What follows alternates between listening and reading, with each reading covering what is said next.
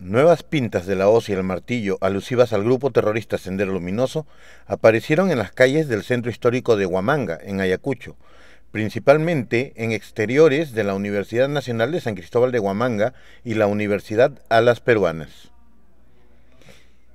Ayacucho 360 registró las imágenes de las pintas que aparecieron entre los jirones Tres Máscaras con Arequipa a una cuadra de la Plaza de Armas. Otra pinta se registró en la avenida Independencia, frente a la residencia universitaria, así como en las paredes del ex colegio Guamán Poma de Ayala.